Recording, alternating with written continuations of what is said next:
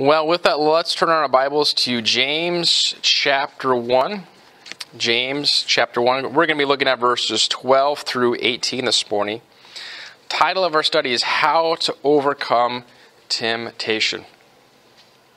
James chapter 1, verses 12 through 18. How to Overcome Temptation.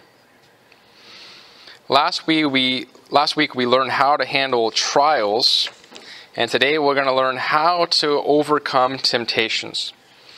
As I was preparing I was looking at this, I was wondering why did James connect the two? Testings and trials and temptations. And as I was looking at that, I, I realized that it's simply this. If we're not careful, the testings that are on the outside, if we don't deal with them correctly, will lead to temptations on the inside there are things that come our way and we're stressed about it or we don't know how to handle the situation, there could be a temptation that leads us in a direction we don't want to go. Uh, thankfully, though, God has given us warning signs to help us avoid the directions that we're not supposed to go. And those warning signs can save your life.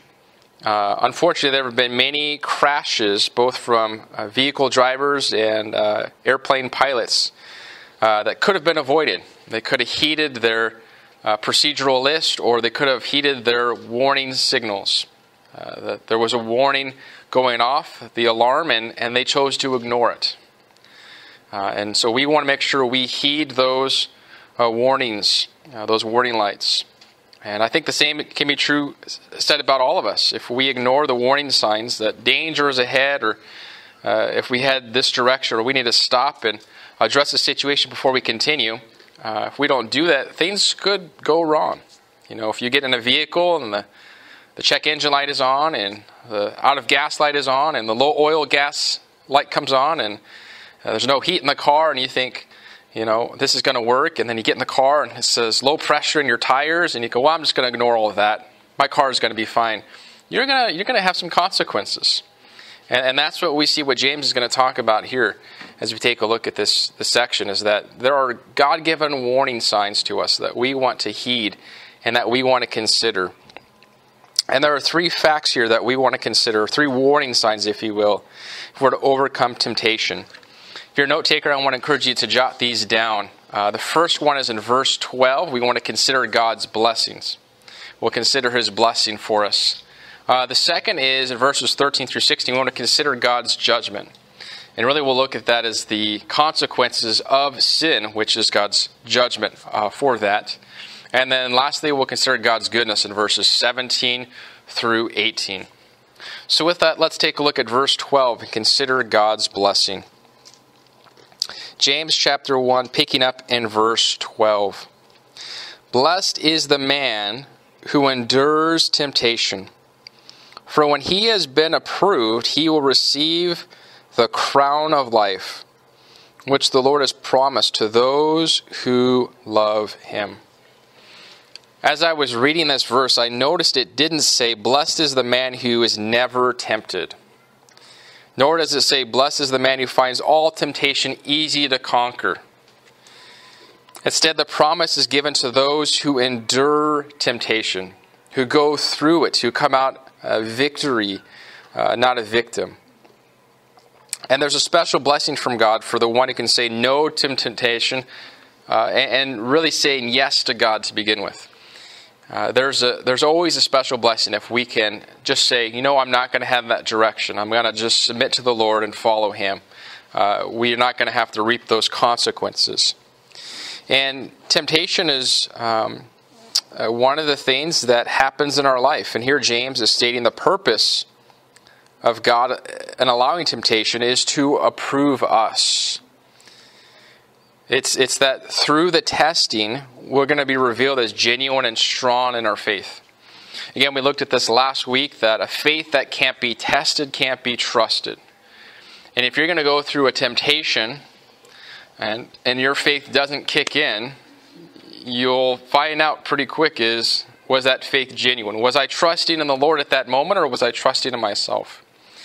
Now, the good news is that there's always forgiveness in Christ Jesus, that we can come to Him and we can seek that forgiveness and that we can move forward. Um, but it's one of those things that we need to seek and persevere through. Seek the Lord and persevere through.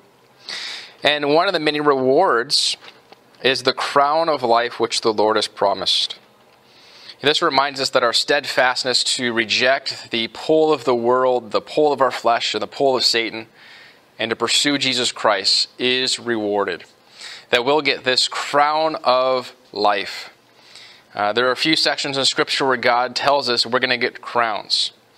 Uh, you get to the end of Revelation, it says that we're going to cast our crowns at His feet. I mean, the truth is, He deserves all the glory and the majesty.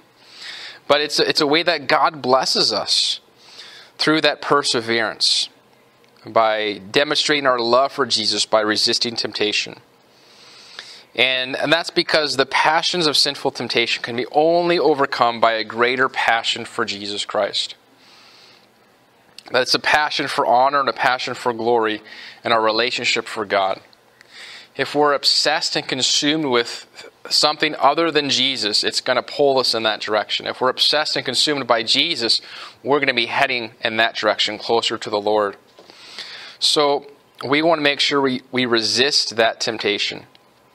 Now, it's also interesting here as we look at this that some people resist temptation not because of the of the really the fear of God that they would break his heart because they love him, but really because of the fear of man. They're afraid of getting in trouble. For example, the thief, as soon as he sees the policeman, will have a fear that he doesn't want to get caught, and so he'll avoid uh, fully committing that crime. Uh, the man or the woman who controls their uh, lusts because they couldn't bear to be found out or embarrassed if they went through with that action, uh, that's because of a fear of consequences of man. Um, if nobody knew about it, they would go forward in that direction. But really, again, the best motive for resisting temptation is to love God. Uh, love Him with a greater power and a greater passion than your love for sin. Uh, and and that's, that's the simple truth is if we love the Lord, it'll be a greater desire than the things that are going to pull us away from Him. So you and I are blessed as we overcome temptation, as we endure as we follow Jesus Christ. And that's God's blessing for us. So that's the first thing that we want to uh, to note. And if you're a note taker, I want to encourage you to jot that down to consider God's blessing. The next thing we need to consider is God's judgment, and we see that in verses 13 through 16. James goes on to write, Let no one say when he is tempted, I am tempted by God. For God cannot be tempted by evil, nor does he himself tempt anyone. But each one is tempted when he is drawn away by his own desires and enticed. Then, when desire has conceived, it gives birth to sin. And sin, when it's full grown, brings forth death. Do not be deceived, my beloved brethren. The first thing we need to keep in mind about temptation is that God does not tempt anyone. If there's a temptation that comes our way, it's not because God is trying to tempt us. God doesn't tempt us with sin. We have a threefold enemy we have Satan, the world, and our flesh. And so those are things that are going to try and drag us away from the Lord. The second thing we need to know is that temptations are not sinful. Uh, we see that Jesus was tempted in all ways, yet without sin. Right? The devil tried to tempt him in the wilderness for 40 days, that he never sinned. So the temptation is not sinful. It's acting upon it or entertaining the thought about it or uh, having that desire to head that direction that becomes sinful. It's like having a, two magnets, right? And one of the magnets is that sin, and, and the pole is the temptation. And, and if we have the magnet inside of us that's desiring it, we're going to be attracted to that. Jesus never had that attraction to sin. He never had the desire to head in that, that way to, uh, to commit any kind of sins. So we want to make sure that we know that um, temptations will come, um, but we want to overcome. So, how does temptation become sinful? Well, verse 14 tells us that each one is tempted when he's drawn away by his own desires and enticed. there are four things I want us to consider as we take a look at the, uh, as we consider God's judgment. And again, if you're a note taker, I want to encourage you to jot these four things down. The first is desire, the second is deception, the third is disobedience, and the fourth is death. And we'll take a look at each of these four stages uh, as we progress in this section. The first in verse 14 is desire. Now, again, desires are not inherently evil. God has given us desires to eat and to sleep and to love, and those things are good. But if we try and satisfy those desires outside of God's will, outside of His purpose, then it becomes sinful. And then really we get into trouble, all kinds of trouble. For example, eating is normal. Overeating, having the desire to eat everything, is called gluttony, which is sinful. Sleeping is normal, but having the desire to sleep all the time and never do anything is called laziness. Uh, and that's not good. Uh, laziness is sin. Hebrews 13:4 tells us that marriage is honorable in all, and the bed undefiled, but whoremongers and adulterers God will judge. So God has designed that there'd be this love attraction within the bounds of marriage, which is good. Outside of that, not so good. So, again, those God given desires can be used in a way that pleases Him, and anything outside of His will is going to get us into trouble. Now, again, temptations will come our way. Uh, I think it was the reformer Martin Luther who said that um, he, he correlated temptations with, with a bird. He said, You know, you can't stop a bird from flying over your head meaning you can't stop thoughts from popping in your mind or, the, the things that are in this world that are going to try and trap you and, and, and, you know knock you down through temptation. But those birds will fly over your head, but you can stop it from building a nest on your head. Meaning you don't have to entertain the thoughts. You don't have to welcome the idea and, and, and contemplate how do I make this happen? How do I dwell on this? How do I move forward in this direction? So we can't stop those things, and I can tell you there have been times in my life where something's popped in my mind and go, "Whoa, where did that come from?" That wasn't from the Lord, and if that was for me, Lord, forgive me. If that's from the enemy, Lord, rebuke him. Uh, that's not godly, right? And so things are going to come into our mind. Things will come that you know we uh, could be something hateful, could be something lustful, uh, could be something prideful, and, and we want to make sure we deal with those in an appropriate way. But temptations will come. It's how we deal with it that makes the difference. Again, we don't want to let our mind be overtaken by it. We don't want to dwell on it or entertain those thoughts. There's a real battleground for our, our minds and for our hearts. And the devil knows this. He knows that we have victory in Christ Jesus, and that if he can't beat us, he'll try and wear us down. If you've ever watched boxing, you've seen this before, is that Sometimes, uh, very rarely, they can knock him down on the first punch. But over time, as they keep going at it, they wear him out. They wear him down. And that's what Satan wants to do. He wants to wear us down, where finally we just are tired and we give in. And so we need to keep that endurance.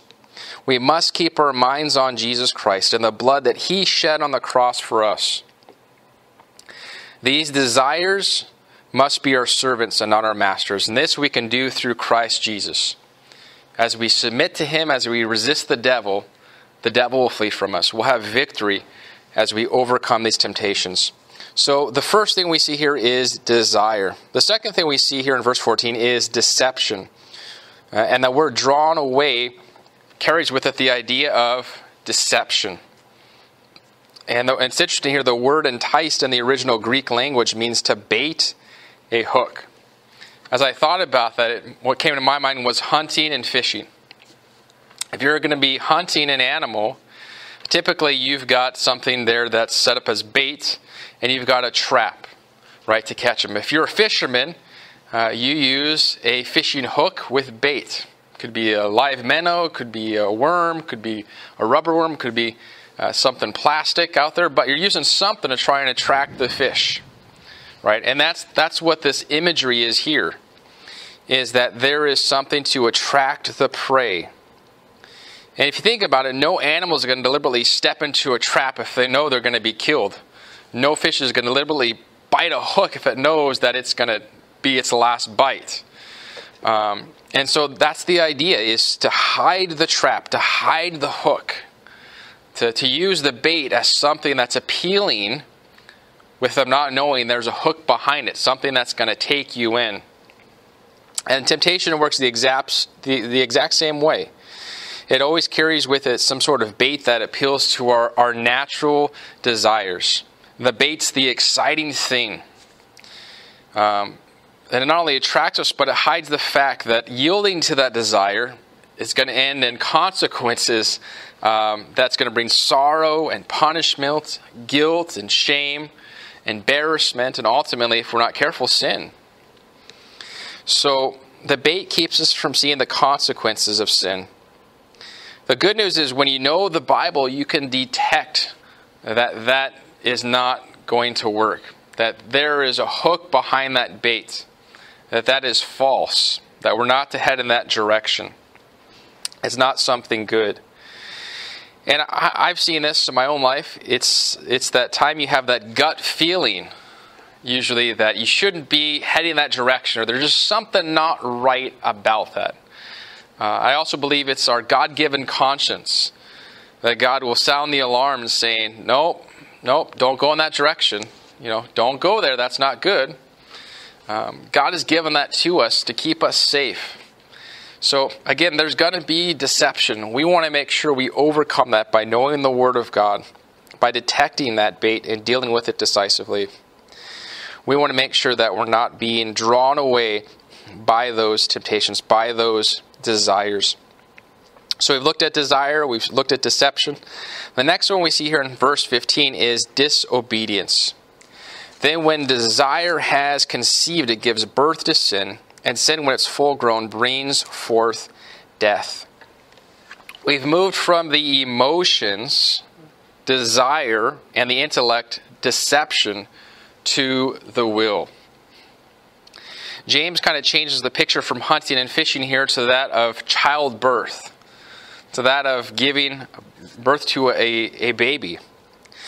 And so desire conceives a method for taking the bait. The will approves the acts, and the result is disobedience, sin.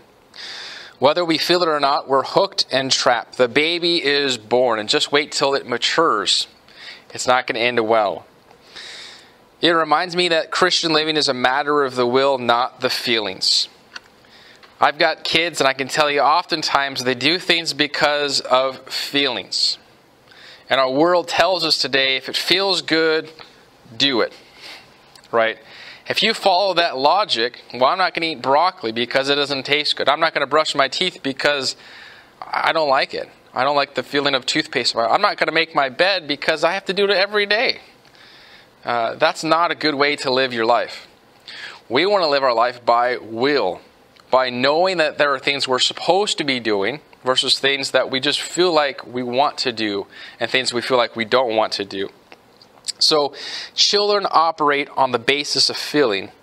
Adults operate on the basis of will, making those choices. And they make that act because it's right no matter how you feel.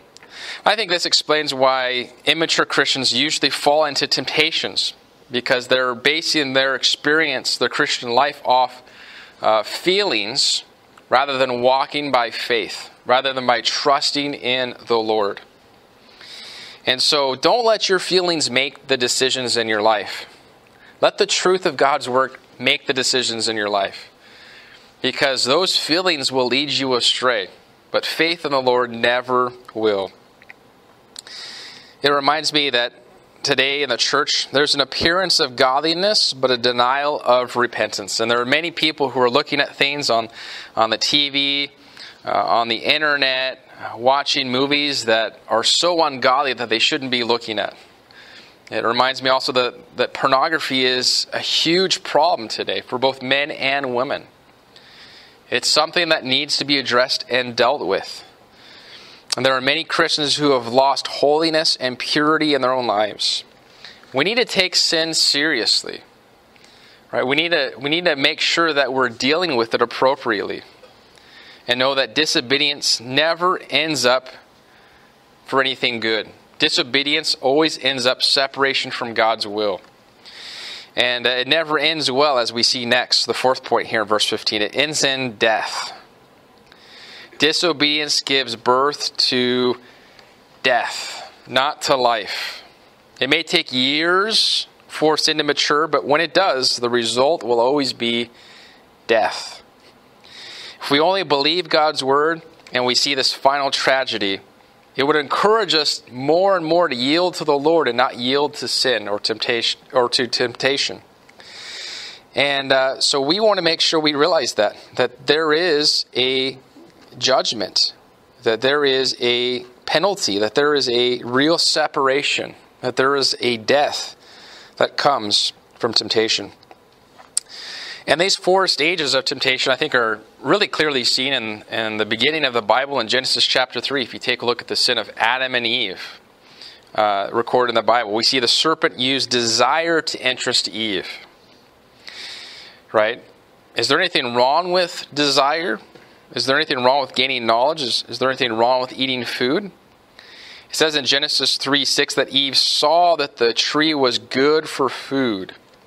Her desire was aroused. That's the first stage. And then we see came deception.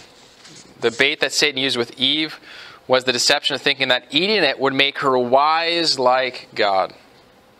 If you partake of this, you'll be like God. And so she went forward in that. And the third stage was that Eve disobeyed God by taking the fruit of the tree and eating it. And Adam did the same. He was right there. And because of this disobedience, both Adam and Eve experienced immediate spiritual death, separation from God. Again, some people read that and they think, well, they didn't fall over and die.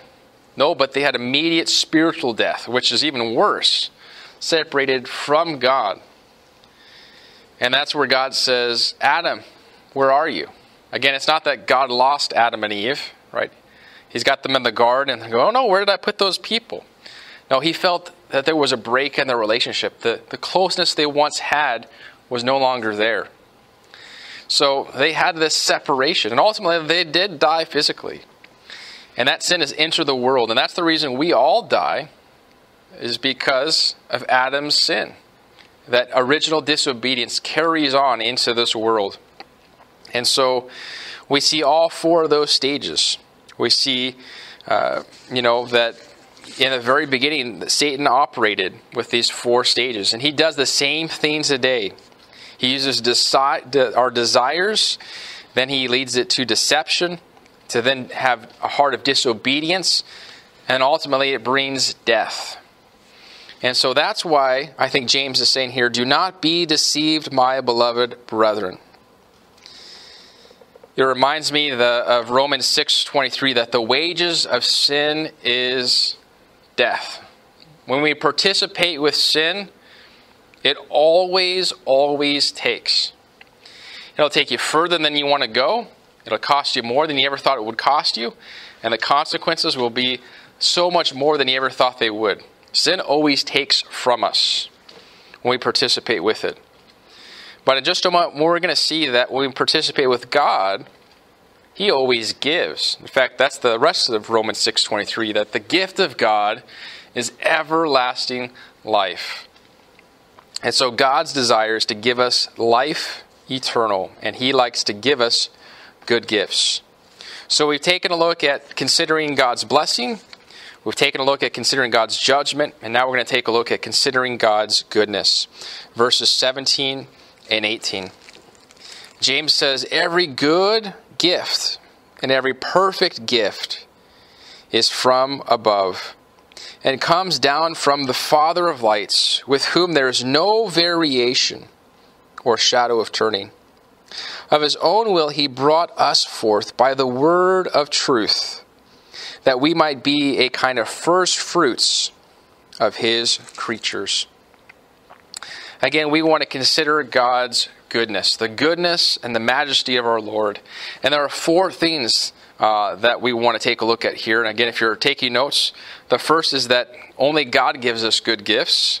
The second is He gives constantly. The third is He doesn't change.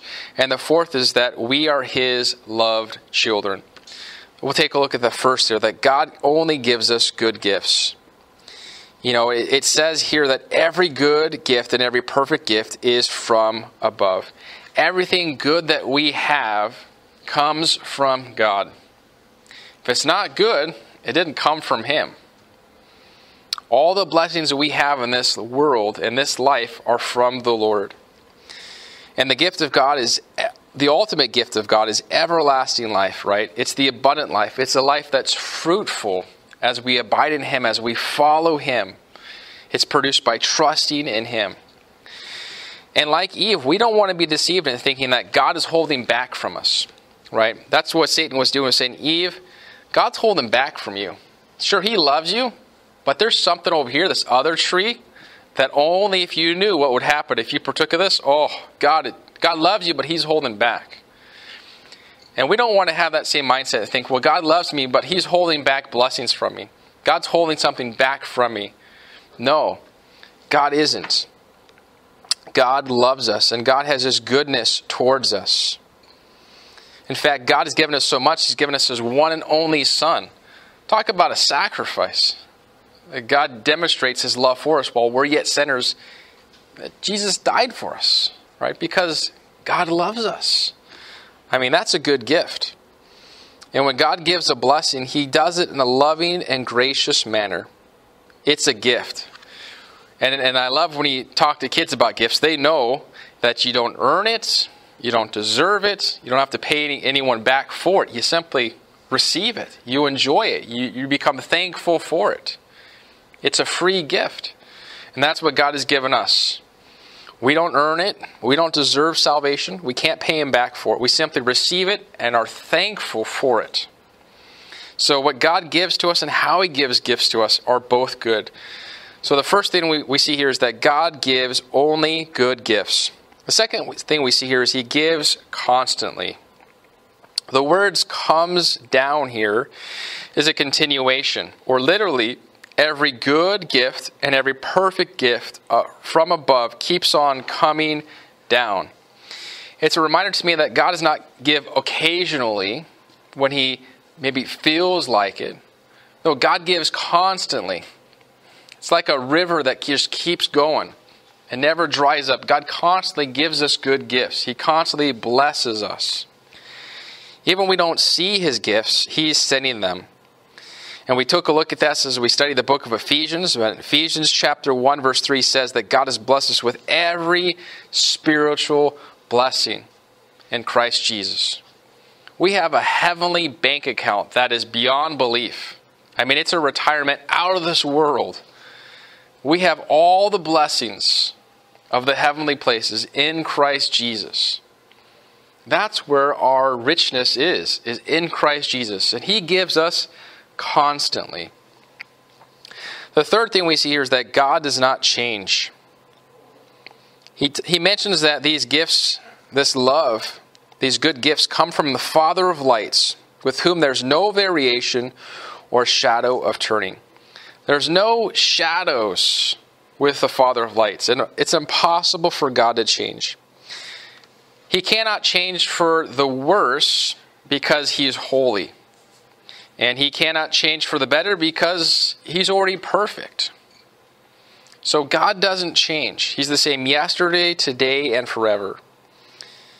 But he uses this imagery of the light of the sun. We see that varies on the earth, right? As the sun changes, there are shadows depending on where the sun goes, but the sun's shining somewhere on the earth all of the time. It's a reminder to us that if shadows come between us and the Father, He didn't cause them. He's the unchanging God. So if there's ever a time where we feel like we're distant from God, it's not that God took a step away from us, it's that we took a step away from Him. And, all we have to do is take that step forward and come right back to Him. God doesn't change. And this means that His love and goodness are always there for us. His forgiveness is always available.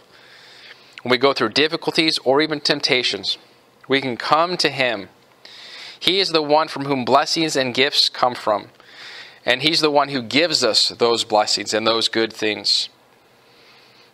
The fourth thing we see here, and we see this really clearly, is in verse 18. It says, Of his own will he brought us forth by the word of truth, that is, we might be a kind of first fruits of his creatures. So we've seen that God gives good gifts. He gives constantly. He doesn't change. And the fourth thing we see here is that he, he allows us to become his children. We are his loved children.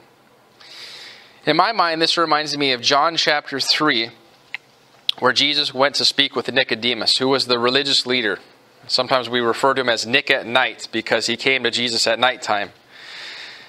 And Nicodemus thought that he was okay. He thought that he was righteous and was going to make it to heaven.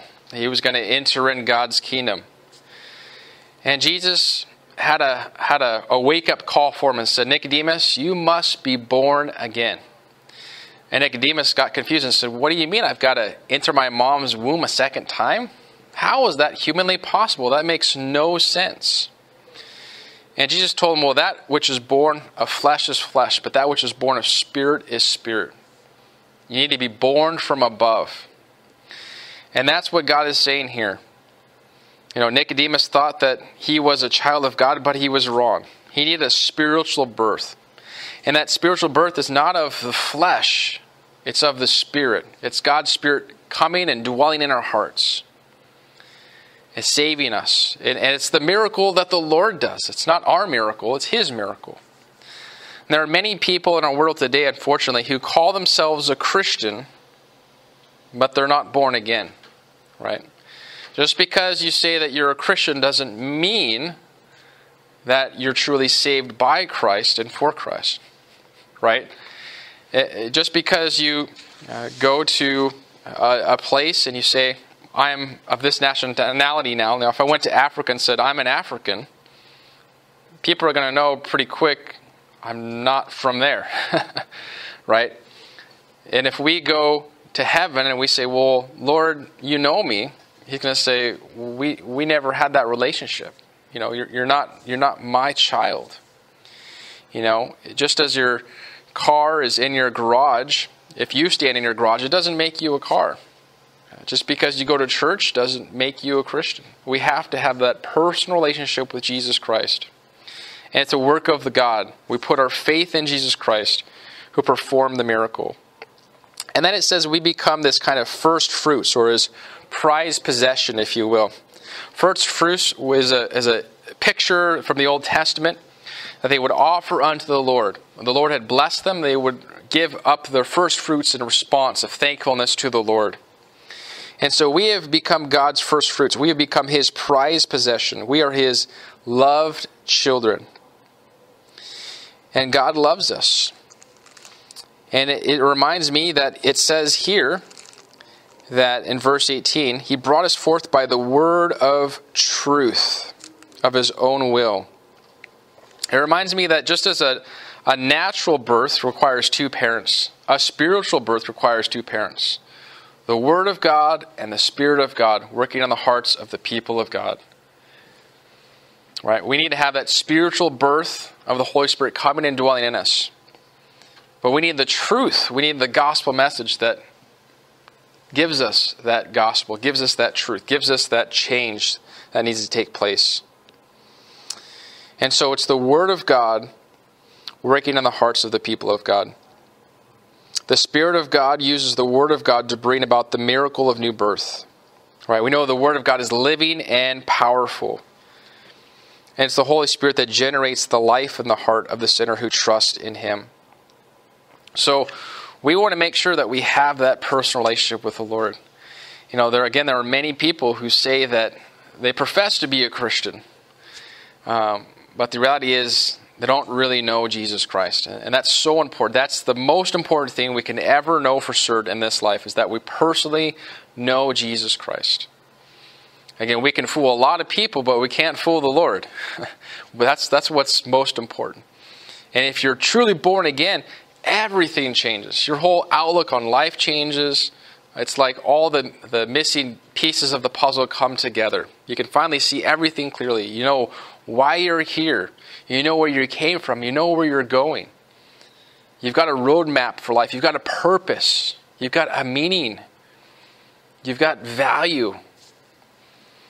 And so you need to make sure you know the Lord. So God gives good gifts, He gives constantly, He doesn't change, and He desires us to be His children.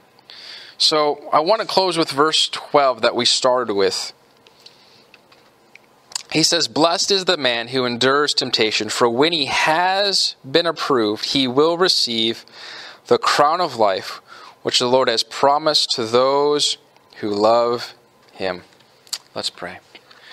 Lord Jesus, we thank you so much for your love for us. Thank you, Lord, that you've given us these warnings, these things to consider, that we're to consider your blessings, the ways that you lavish your love upon us, that you will give us the crown of life as we endure, as we keep going, as we continue to follow you, as we persevere as we not grow weary while doing good. In due season we will reap if we do not lose heart. Lord, may we continue to consider your judgment. May we continue to be reminded that temptation will use desire in an ungodly way, that'll bring deception, disobedience, and ultimately death. We know in you, Jesus, we have victory, that we can overcome that greater is He, the Holy Spirit living in us, than He who is in the world. The devil has no foothold on us if we're consumed and pursuing you. May you be that overriding passion for anything else in this life. And Lord, may we consider your goodness, that you give us only good gifts, that you are a good, good Father, that you give us constantly not just occasionally, but you constantly love on us. You constantly bless us. There are so many ways we can count our blessings.